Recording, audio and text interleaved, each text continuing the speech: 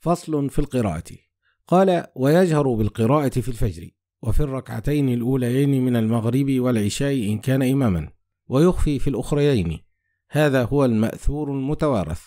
قال وإن كان منفردا فهو مخير إن شاء جهر وأسمع نفسه لأنه إمام في حق نفسه وإن شاء خافت لأنه ليس خلفه من يسمعه والأفضل هو الجهر ليكون الأداء على هيئة الجماعة. قال ويخفيها الإمام في الظهر والعصر وإن كان بعرفته لقوله عليه الصلاة والسلام صلاة النهار عجماء أي ليست فيها قراءة مسموعة. وفي عرفة خلاف مالك رحمه الله والحجة عليه ما روينا. قال ويجهر في الجمعة والعيدين لورود النقل المستفيض بالجهر وفي التطوع بالنهار يخافت وفي الليل يتخير اعتبارا بالفرض في حق المنفرد وهذا لأنه مكمل له فيكون تبعا له. قال ومن فاتته العشاء فصلاها بعد طلوع الشمس إن أم فيها جهرة كما فعل رسول الله صلى الله عليه وسلم حين قضى الفجر غداة ليلة التعريس بجماعة. قال وإن كان وحده خافت حتما ولا يتخير هو الصحيح لأن الجهر يختص إما بالجماعة حتما أو بالوقت في حق المنفرد على وجه التخيير ولم يوجد أحدهما. قال ومن قرأ في العشاء في الأوليين السورة ولم يقرأ فاتحة الكتاب لم يعد في الأخريين وإن قرأ الفاتحة ولم يزد عليها قرأ في الأخريين الفاتحة والسورة وجهره. وهذا عند أبي حنيفة ومحمد رحمهما الله. وقال أبو يوسف رحمه الله لا يقضي واحدة منهما لأن الواجب إذا فات عن وقته لا يقضى إلا بدليل. ولهما وهو الفرق بين الوجهين أن قراءة الفاتحة شرعت على وجه تترتب عليه السورة. فلو قضاها في الأخريين تترتب الفاتحة على السورة. وهذا خلاف الموضوع. بخلاف ما إذا ترك السورة لأنه أمكن قضاؤها على الوجه المشروع. ثم ذكرها هنا ما يدل على الوجوب. وفي الأصل بلفظة الاستحباب لأنها وإن كانت مؤخرة فغير موصولة بالفاتحة فلم يمكن مراعاة موضوعها من كل وجه. ويجهر بهما هو الصحيح لأن الجمع بين الجهر والمخافتة في ركعة واحدة شنيع وتغيير النفل وهو الفاتحة أولى. ثم المخافتة أن يسمع نفسه والجهر أن يسمع غيره. وهذا عند الفقيه أبي جعفر الهندواني رحمه الله تعالى لأن مجرد حركة اللسان لا تسمى قراءة بدون الصوت. وقال الكرخي رحمه الله أدنى الجهر أن يسمع نفسه وأدنى المخافتة تصحيح الحروف لأن القراءة فعل اللسان دون الصماخ. وفي لفظ الكتاب إشارة إلى هذا. وعلى هذا الأصل كل ما يتعلق بالنطق. كالطلاق والعتاق والاستثناء وغير ذلك. قال وأدنى ما يجزئ من القراءة في الصلاة آية عند أبي حنيفة رحمه الله.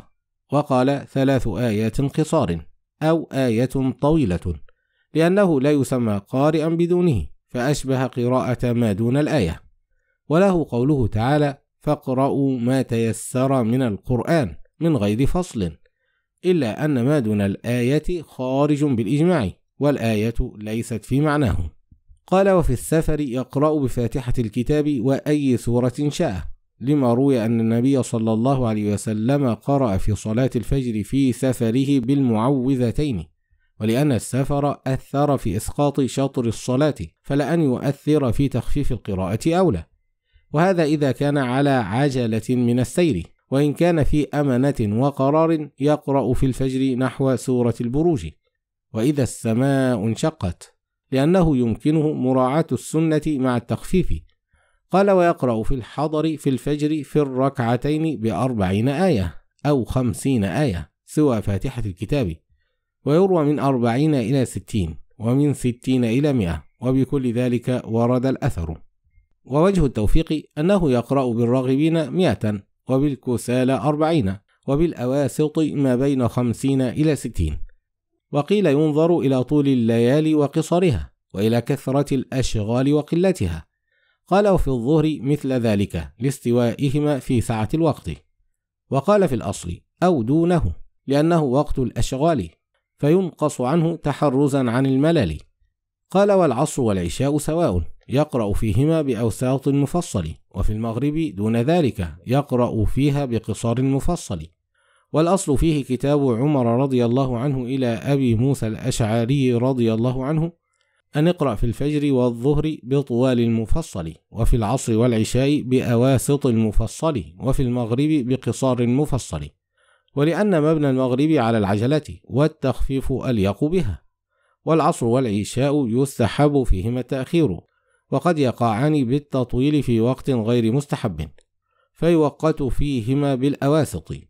قال ويطيل القراءة في الركعة الأولى من الفجر على الثانية إعانة للناس على إدراك الجماعة.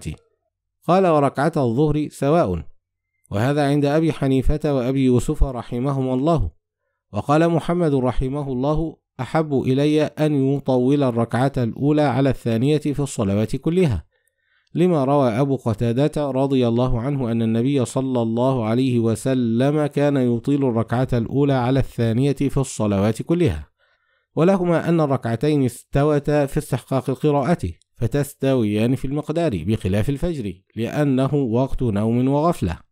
والحديث محمول على الإطالة من حيث الثناء والتعوذ والتسمية ولا معتبر بالزيادة والنقصان بما دون ثلاث آيات لعدم إمكان الاحتراز عنه من غير حرج. قال وليس في شيء من الصلوات قراءة سورة بعينها لا يجوز غيرها. لإطلاق ما تلونه. قال ويكره أن يوقت بشيء من القرآن لشيء من الصلوات بأن يقرأ سورة السجدة وهل أتى على الإنسان في الفجر في كل جمعة لما فيه من هجر الباقي وإيهام التفضيل قال ولا يقرأ المؤتم خلف الإمام خلافا للشافعي رحمه الله في الفاتحة له أن القراءة ركن في الأركان فيشتركان فيه ولنا قوله عليه الصلاة والسلام من كان له إمام فقراءة الإمام له قراءة. وعليه إجماع الصحابة رضي الله عنهم. وهو ركن مشترك بينهما. لكن حظ المقتدي الإنصات والاستماع لقوله تعالى وإذا قرئ القرآن فاستمعوا له وأنصتوا. ولقوله عليه الصلاة والسلام إذا قرأ الإمام فأنصتوا. ويستحسن قراءة الفاتحة خلف الإمام على سبيل الاحتياط فيما يروى عن محمد رحمه الله ويكره عندهما لما فيه من الوعيد. قال ويستمع وينصت وإن قرأ الإمام آية الترغيب والترهيب لأن الاستماع والإنصات فرض بالنص والقراءة وسؤال الجنة والتعوذ من النار كل ذلك مخل به.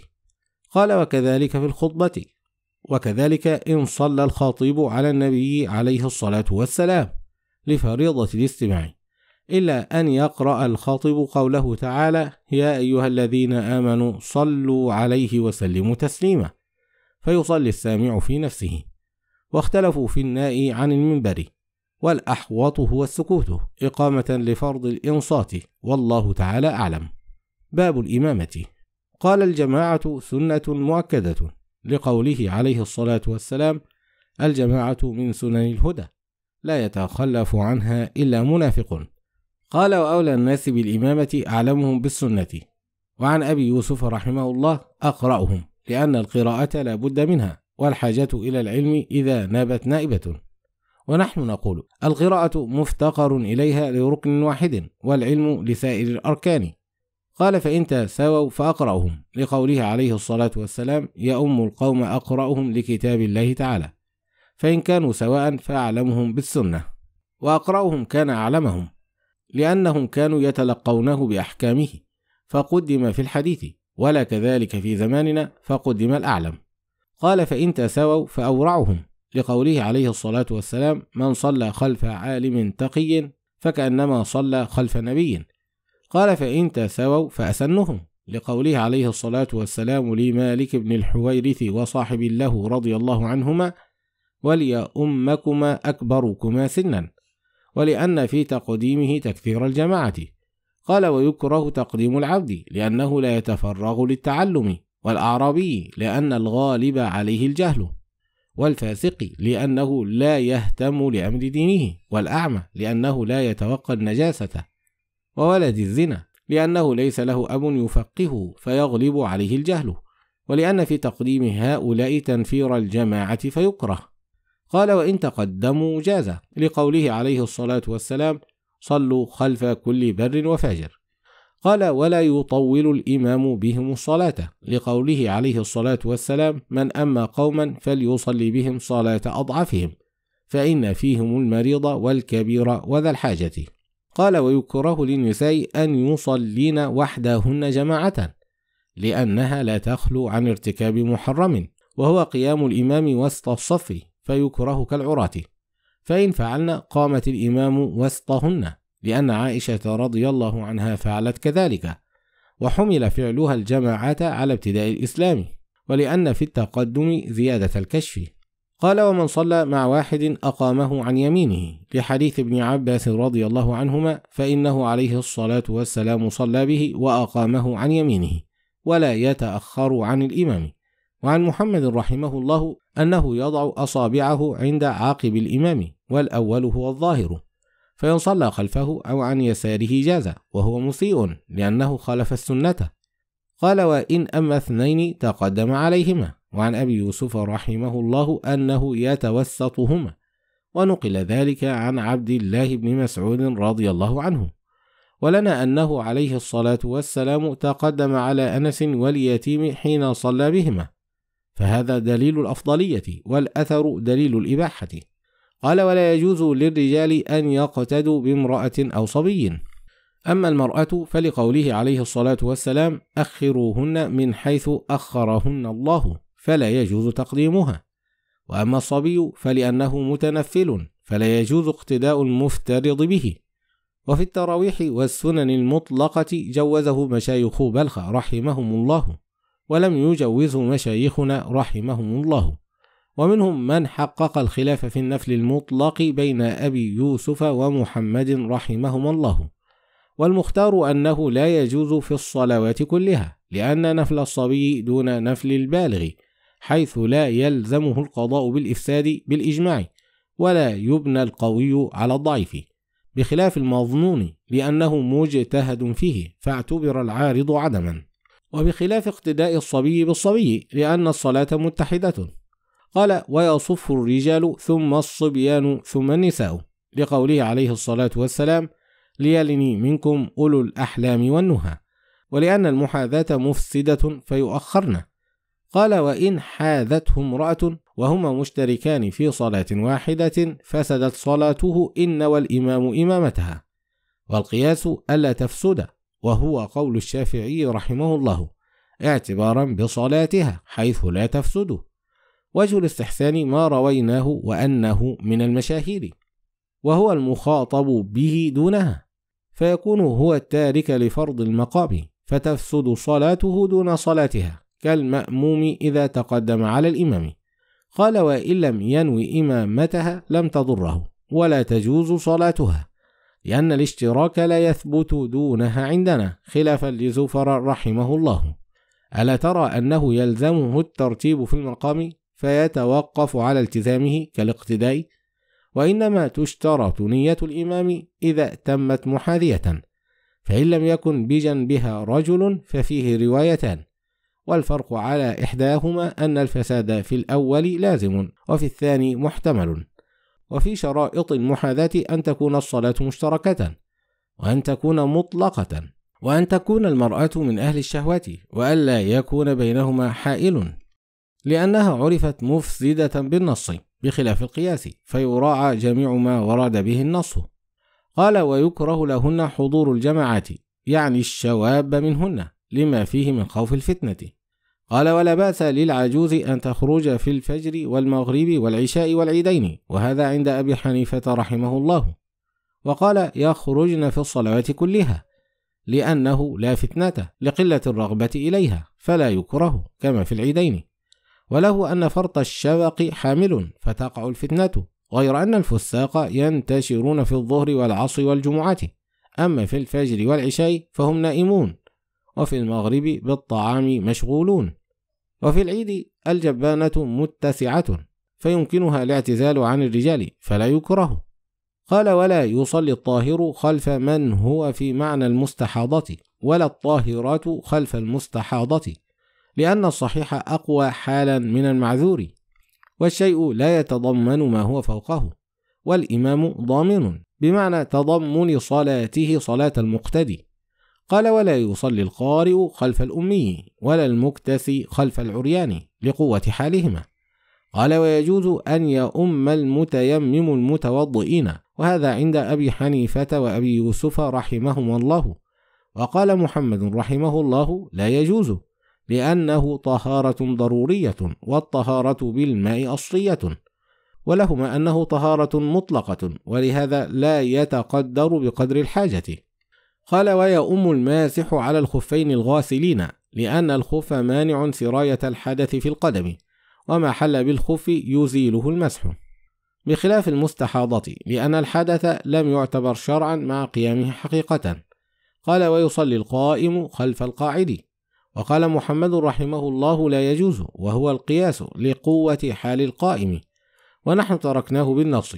وهو ما روي أن النبي عليه الصلاة والسلام آخر صلاته قاعدا والقوم خلفه قيام. قال ويصلي المومئ خلف مثله لاستوائهما في الحال إلا أن المومئ المؤتم قاعدا والإمام مضجعا لأن القعود معتبر فتثبت به القوة. قال ولا يصلي الذي يركع ويسجد خلف المومئ لأن حال المقتدي أقوى وفيه خلاف زفر رحمه الله. قال ولا يصلي المفترض خلف المتنفر لأن الاقتداء بناء ووصف الفرضية معدوم في حق الإمام فلا يتحقق البناء على المعدوم. قال ولا من يصلي فرضا خلف من يصلي فرضا آخر لأن الاقتداء شركة وموافقة فلا بد من الاتحاد. وعند الشافعي رحمه الله يصح في جميع ذلك لأن الاقتداء عنده أداء على سبيل الموافقة. وعندنا معنى التضمن مراعا. قال ويصلي المتنفل خلف المفترض. لأن الحاجة في حقه إلى أصل الصلاة وهو موجود في حق الإمام فيتحقق البناء. قال ومن اقتدى بإمام ثم علم أن إمامه محدث أعاده لقوله عليه الصلاة والسلام من أما قوما ثم ظهر أنه كان محدثا أو جنبا أعاد صلاته وأعاده. وفيه خلاف الشافعي رحمه الله بناء على ما تقدم. ونحن نعتبر معنى التضمن وذلك في الجواز والفساد. قال وإذا صلى أمي بقوم يقرؤون وبقوم أميين فصلاتهم فاسدة عند أبي حنيفة رحمه الله. وقال صلاة الإمام ومن لا يقرأ تامة لأنه معذور. أما قوما معذورين وغير معذورين فصار كما إذا أما العار عراة ولابسين. وله أن الإمام ترك فرض القراءة مع القدرة عليها فتفسد صلاته. وهذا لأنه لو اقتدى بالقارئ تكون قراءته قراءة له. بخلاف تلك المسألة وأمثالها لأن الموجود في حق الإمام لا يكون موجودا في حق المقتدي. ولو كان يصلي الأمي وحده والقارئ وحده جاز هو الصحيح لأنه لم تظهر منهما رغبة في الجماعة. قال فإن قرأ الإمام في الأوليين ثم قدم في الأخريين أميا فسدت صلاتهم. وقال زفر رحمه الله لا تفسد لتأدي فرض القراءة ولنا أن كل ركعة صلاة فلا تخلى عن القراءة إما تحقيقا أو تقديرا ولا تقدير في حق الأمي لانعدام الأهلية. قال وكذا على هذا لو قدمه في التشهد والله تعالى أعلم. باب الحدث في الصلاة. قال ومن سبقه الحدث في الصلاة انصرف فإن كان إماما استخلف وتوضأ وبنى والقياس أن يستقبل وهو قول الشافعي رحمه الله لأن الحدث ينافيها والمشي والانحراف يفسدانها فأشبه الحدث العمد. ولنا قوله عليه الصلاة والسلام من قاء أو رعف أو أمذى في صلاته فلينصرف وليتوضأ وليبني على صلاته ما لم يتكلم. وقال عليه الصلاة والسلام إذا صلى أحدكم فقاء أو رعف في صلاته فليضع يده على فمه وليقدم ما لم يسبق بشيء والبلوى فيما يسبق دون ما يتعمد فلا يلحق به. قال والاستئناف أفضل تحرزا عن شبهة الخلاف. وقيل إن المنفرد يستقبل والإمام والمقتدي يبنيان صيانة لفريضة الجماعة. والمنفرد إن شاء أتم في منزله وإن شاء عاد إلى مكانه. والمقتدي يعود إلى مكانه إلا أن يكون إمامه قد فرغ أو لا يكون بينهما حائل. قال ومن ظن أنه أحدث فخرج من المسجد ثم علم أنه لم يحدث استقبل الصلاة. وإن لم يكن خرج من المسجد يصلي ما بقي. والقياس فيهما الاستقبال وهو رواية عن محمد رحمه الله لوجود الانصراف من غير عذر. وجه الاستحسان أنه انصرف على قصد الإصلاح. ألا ترى أنه لو تحقق ما توهمه بنى على صلاته فألحق قصد الإصلاح بحقيقته ما لم يختلف المكان بالخروج. وإن كان استخلف فسدت صلاتهم جميعا لأنه عمل كثير من غير عذر. وهذا بخلاف ما إذا ظن أنه افتتح الصلاة على غير وضوء فانصرف ثم علم أنه على وضوء حيث تفسد صلاته وإن لم يخرج. لأن الانصراف على سبيل الرفض ألا ترى أنه لو تحقق ما توهمه يستقبل؟ فهذا هو الحرف. ومكان الصفوف في الصحراء له حكم المسجد. ولو تقدم قدامه فالحد هو السترة وإن لم تكن فمقدار الصفوف خلفه. وإن كان منفردا فموضع سجوده من كل جانب. قال وإن جن أو نام فاحتلم أو أغمي عليه استقبل الصلاة لأنه يندر وجود هذه العوارض فلم يكن في معنى ما ورد به النص وهو الحدث. وكذا إذا قهقه لأنه بمنزلة الكلام وهو قاطع للصلاة. قال وإن حصر الإمام عن القراءة فقدم غيره أجزأهم عند أبي حنيفة رحمه الله. وقال لا يجزئهم لأنه يندر وجوده فأشبه الجنابة في الصلاة. وله أن الاستخلاف لعلة العجز وهو ها هنا ألزم والعجز عن القراءة غير نادر فلا يلحق بالجنابة. ولو قرأ مقدار ما تجوز به الصلاة لا يجوز الاستخلاف بالإجماع لعدم الحاجة إلى الاستخلاف. قال وإن سبقه الحدث بعدما قعد قدر التشهد توضأ وسلم لأن التسليم واجب فلا بد من التوضؤ ليأتي به. قال وإن تعمد الحدث في هذه الحالة أو تكلم أو عمل عملا ينافي الصلاة تمت صلاته لأنه تعذر البناء لوجود القاطع لكن لا إعادة عليه لأنه لم يبقى عليه شيء من الأركان. قال فإن رأى المتيمم الماء في خلال صلاته بطلت صلاته وقد مر من قبله. قال فإن رآه بعدما قعد قدر التشهد أو كان ماسحا فانقضت مدة المسح أو خلع خفيه بعمل يسير أو كان أميا فتعلم سورة أو عريانا فوجد ثوبا أو مومعا فقدر على الركوع والسجود أو طلعت الشمس في الفجر أو دخل وقت العصر وهو في الجمعة أو كان ماسحا على الجبيرة فسقطت عن برء أو كان صاحب عذر فانقطع عذره كالمستحاضة ومن بمعناها. بطلت الصلاة في الكل في قول أبي حنيفة رحمه الله وقال تمت صلاته. وقيل الأصل فيه أن الخروج عن الصلاة بصنع المصلي فرض عند أبي حنيفة رحمه الله وليس بفرض عندهما. فاعتراض هذه العوارض عنده في هذه الحالة كاعتراضها في خلال الصلاة. وعندهما كاعتراضها بعد التسليم.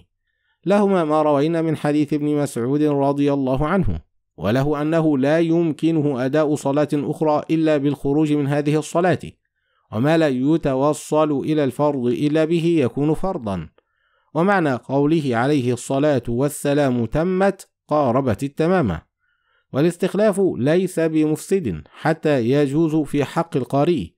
وإنما الفساد ضرورة حكم شرعي وهو عدم صلاحية الخليفة للإمامة. قال ومن اقتدى بإمام بعدما صلى ركعة فأحدث الإمام فقدمه أجزاءه لوجود المشاركة في التحريمة. والأولى للإمام أن يقدم مدركا لأنه أقدر على إتمام صلاته. وينبغي لهذا المسبوق ألا يتقدم لعجزه عن التسليم. فلو تقدم يبتدئ من حيث انتهى إليه الإمام لقيامه مقامه. وإذا انتهى إلى السلام يقدم مدركا يسلم بهم. قال فلو أنه حين أتم صلاة الإمام قهقه أو أحدث متعمدا أو تكلم أو خرج من المسجد فسدت صلاته. وصلاة القوم تامة. لأن المفسد في حقه وجد في خلال الصلاة وفي حقهم بعد تمام أركانها. والإمام الأول إن كان فرغ لا تفسد صلاته وإن لم يفرغ تفسد وهو الأصح. قال فإن لم يحدث الإمام الأول وقد قعد قدر التشهد ثم قهقه أو أحدث متعمدا فسدت صلاة الذي لم يدرك أول صلاته عند أبي حنيفة رحمه الله. وقال لا تفسد وإن تكلم أو خرج من المسجد لم تفسد في قولهم جميعا. لهما أن صلاة المقتدي بناء على صلاة الإمام جوازا وفسادا ولم تفسد صلاة الإمام فكذا صلاة المقتدي وصار كالسلام والكلام. وله أن القهقهة مفسدة للجزء الذي تلاقيه من صلاة الإمام فيفسد مثله من صلاة المقتدي غير أن الإمام لا يحتاج إلى البناء والمسبوق يحتاج إليه والبناء على الفاسد فاسد بخلاف السلام لأنه منه والكلام في معناه. وينتقض وضوء الإمام لوجود القهقهة في حرمة الصلاة.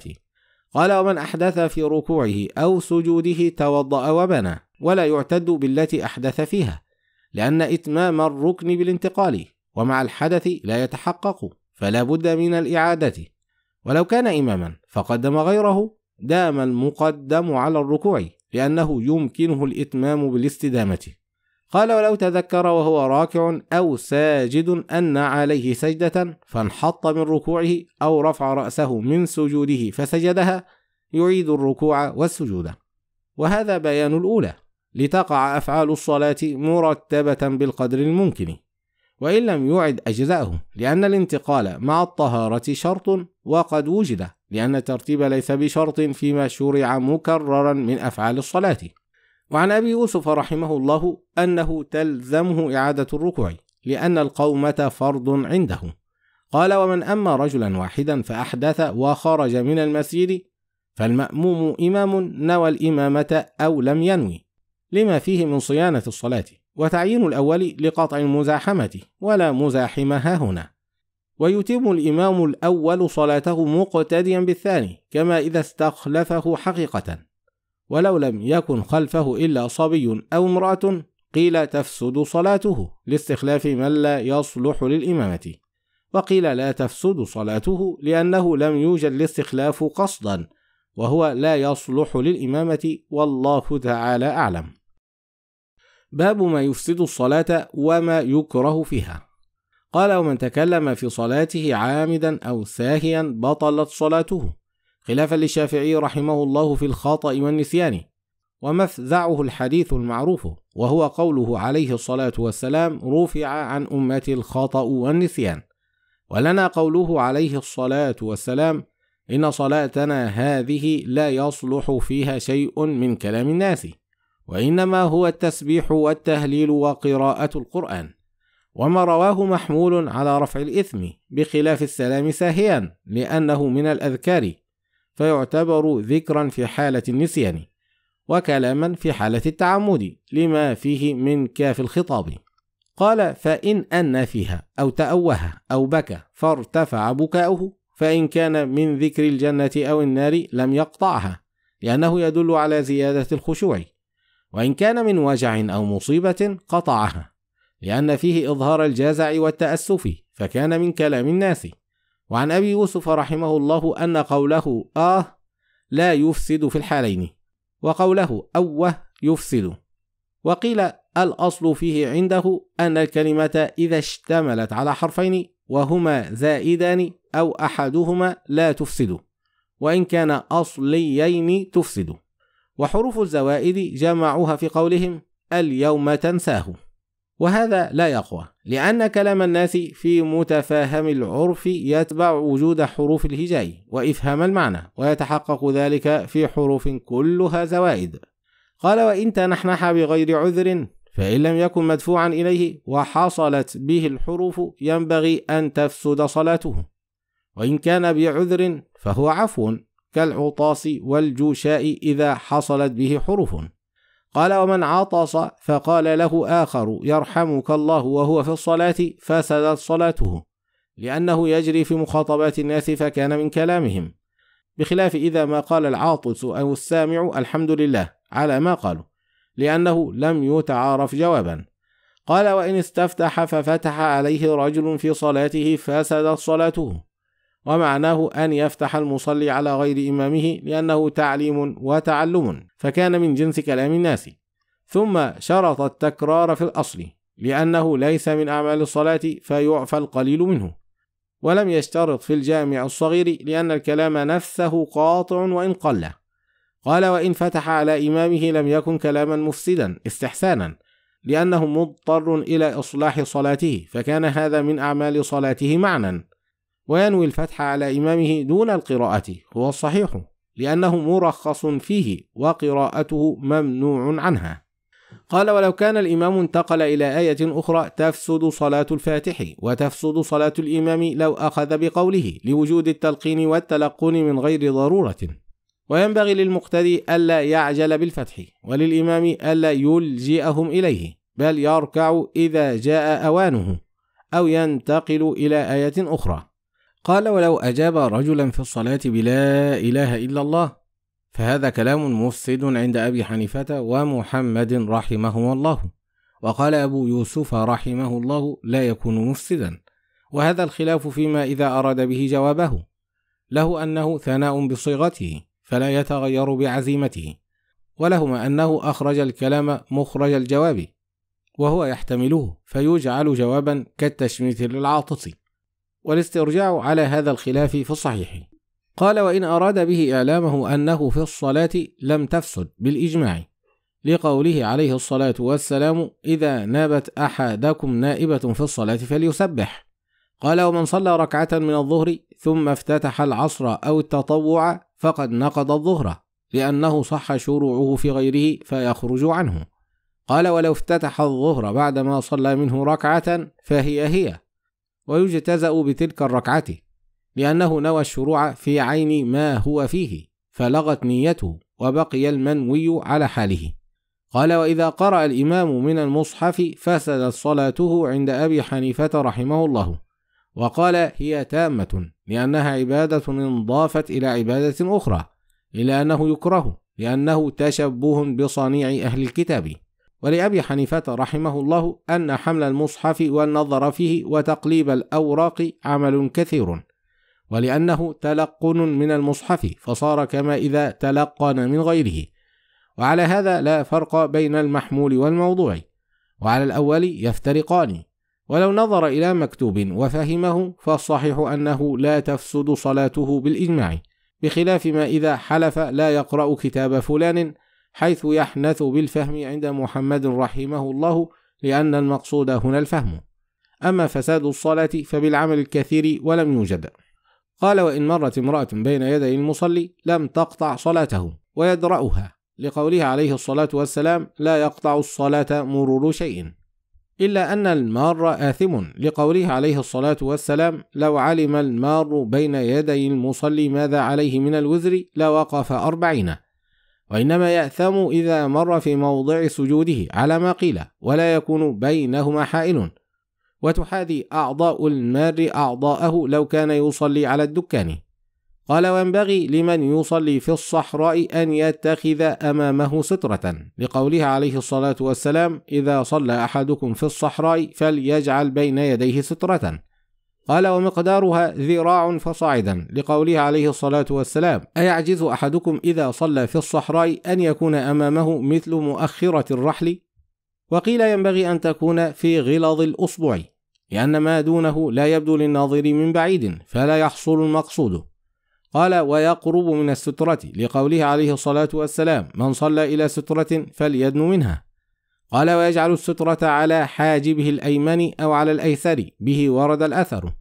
ولا بأس بترك السترة إذا أمن المرور ولم يواجه الطريق. قال وسترة الإمام سترة للقوم لأنه عليه الصلاة والسلام صلى ببطحاء مكة إلى عنزة ولم تكن للقوم سترة. قال ويعتبر الغرز دون الإلقاء والخط لأن المقصود لا يحصل به. قال ويدرأ المار إذا لم يكن بين يديه سترة أو مر بينه وبين السترة. لقوله عليه الصلاة والسلام فادرأوا المار ما استطعتم قال ويدرأ بالإشارة كما فعل رسول الله صلى الله عليه وسلم بولدي أم سلمة رضي الله عنها أو يدفع بالتسبيح لما روينا من قبل. قال ويكره الجمع بينهما لأن بأحدهما كفاية والله تعالى أعلم. فصل فيما يكره في الصلاة. قال ويكره للمصلي أن يعبث بثوبه أو بجسده. لقوله عليه الصلاة والسلام إن الله كره لكم ثلاثا وذكر منها العبث في الصلاة. ولأن العبث خارج الصلاة حرام فما ظنك في الصلاة؟ قال ولا يقلب الحصى لأنه نوع عبث إلا ألا يمكنه من السجود فيسويه مرة واحدة. لقوله عليه الصلاة والسلام مرة يا أبا ذر وإلا فذر. ولأن فيه إصلاح صلاته. قال ولا يفرقع أصابعه. لقوله عليه الصلاة والسلام لا تفرقع أصابعك وأنت تصلي. قال ولا يتخصر وهو وضع اليد على الخاصرة لأنه عليه الصلاة والسلام نهى عن التخصر في الصلاة. ولأن فيه ترك الوضع المسنون.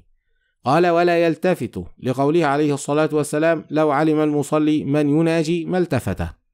ولو نظر بمؤخر عينيه يمنة ويسرة من غير أن يلوي عنقه لا يكره لأنه عليه الصلاة والسلام كان يلاحظ أصحابه في صلاته بموقع عينيه. قال ولا يقعي ولا يفترش ذراعيه. لقول أبي ذر رضي الله عنه نهاني خليلي صلى الله عليه وسلم عن ثلاث أن أنقر نقر الديك وأن أقعي إقعاء الكلب وأن أفترش افتراش الثعلب. والإقعاء أن يضع أليتيه على الأرض وينصب ركبتيه نصبا هو الصحيح. قال ولا يرد السلام بلسانه لأنه كلام ولا بيده لأنه سلام معنى حتى لو صافح بنية التسليم تفسد صلاته. قال ولا يتربع إلا من عذر لأن فيه ترك سنة القعود.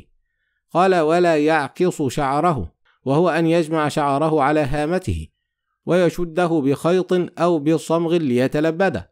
وقد روي أنه عليه الصلاة والسلام نهى أن يصلي الرجل وهو معقوص. قال ولا يكف ثوبه لأنه نوع تجبر. قال ولا يسدل ثوبه لأنه عليه الصلاة والسلام نهى عن السدل. وهو أن يجعل ثوبه على رأسه أو كتفيه ثم يرسل أطرافه من جوانبه. ولا يأكل ولا يشرب لأنه ليس من أعمال الصلاة. فإن أكل أو شرب عامدا أو ناسيا فسدت صلاته لأنه عمل كثير وحالة الصلاة مذكرة. قال ولا بأس بأن يكون مقام الإمام في المسجد وسجوده في الطاق ويكره أن يقوم في الطاق لأنه يشبه صنيع أهل الكتاب من حيث تخصيص الإمام بالمكان بخلاف ما إذا كان سجوده في الطاق. ويكره أن يكون الإمام وحده على الدكان لما قلنا وكذا على القلب في ظاهر الروايات لأنه ازدراء بالإمام. قال ولا بأس بأن يصلي إلى ظهر رجل قاعد يتحدث لأن ابن عمر رضي الله عنهما ربما كان يستتر بنافع في بعض أسفاره. قال ولا بأس بأن يصلي وبين يديه مصحف معلق أو سيف معلق لأنهما لا يعبدان عادة وباعتباره تثبت الكراهة. قال ولا بأس بأن يصلي على بساط فيه تصاوير لأن فيه استهانة بالصور ولا يسجد على التصاوير لأنه يشبه عبادة الصورة. وأطلق الكراهة في الأصل لأن المصلى معظم. قال ويكره أن يكون فوق رأسه في السقف أو بين يديه أو بحذائه تصاوير أو صورة معلقة لحديث جبريل عليه السلام إنا لا ندخل بيتا فيه كلب أو صورة قال ولو كانت الصورة صغيرة بحيث لا تبدو للناظر لا يكره لأن الصغار جدا لا تعبد قال وإذا كان التمثال مقطوع الرأس أو ممحو الرأس فليس بتمثال لأنه لا يعبد بدون الرأس. وصار كما إذا صلى إلى شمع أو إلى سراج على ما قالوا. قال ولو كانت الصورة على وسادة ملقاة أو على بساط مفروش لا يكره لأنها تداس وتوطأ. بخلاف ما إذا كانت الوسادة منصوبة أو كانت على ستر لأنه تعظيم لها. وأشد كراهة أن تكون أمام المصلي ثم من فوق رأسه ثم على يمينه ثم على شماله ثم من خلفه. ولو لبس ثوبا فيه تصاوير يكره لأنه يشبه حامل الصنم. والصلاة جائزة في جميع ذلك لاستجماع شرائطها وتعاد على وجه غير مكروه. وهذا هو الحكم في كل صلاة أديت مع الكراهة. قال ولا يكره تمثال غير ذي الروح لأنه لا يعبد. قال ولا بأس بقتل الحياة والعقرب في الصلاة. لقوله عليه الصلاة والسلام اقتلوا الأسودين ولو كنتم في الصلاة ولأن فيه إزالة الشغل فأشبه درء المار. ويستوي فيه جميع أنواع الحيات هو الصحيح لإطلاق ما روينا. قال ويكره عد الآي والتسبيحات باليد في الصلاة وكذا عد السور لأن ذلك ليس من أعمال الصلاة. وعن أبي يوسف ومحمد رحمهما الله أنه لا بأس بذلك في الفرائض والنوافل جميعا مراعاة لسنة القراءة والعمل بما جاءت به السنة. قلنا يمكنه أن يعد ذلك قبل الشروع فيستغني عن العد بعده والله تعالى أعلم. فصل في بيان الكراهة خارج الصلاة. قال ويكره استقبال القبلة بالفرج في الخلاء. لأنه عليه الصلاة والسلام نهى عن ذلك. قال والاستدبار يكره في رواية لما فيه من ترك التعظيم ولا يكره في رواية لأن المستدبر فرجه غير موازن للقبلة وما ينحط منه ينحط إلى الأرض بخلاف المستقبل لأن فرجه موازن لها وما ينحط منه ينحط إليها. قال وتكره المجامعة فوق المسجد والبول والتخلي. لأن سطح المسجد ليس له حكم المسجد حتى يصح الاقتداء منه بمن تحته. ولا يبطل الاعتكاف بالصعود إليه ولا يحل للجنب الوقوف عليه. قال ولا بأس بالبول فوق بيت فيه مسجد. والمراد ما أعد للصلاة في البيت لأنه لم يأخذ حكم المسجد وإن ندبنا إليه. قال ويكره أن يغلق باب المسجد لأنه يشبه المنع من الصلاة. وقيل لا بأس به إذا خيف على متاع المسجد في غير أوان الصلاة. قال ولا بأس بأن ينقش المسجد بالجص والساج وماء الذهب وغير ذلك. وقوله لا بأس يشير إلى أنه لا يؤجر عليه لكنه لا يأثم به. وقيل هو قربة. وهذا إذا فعل من مال نفسه. أما المتولي فيفعل من مال الوقف ما يرجع إلى أحكام البناء دون ما يرجع إلى النقش حتى لو فعل يضمن. والله تعالى أعلم بالصواب.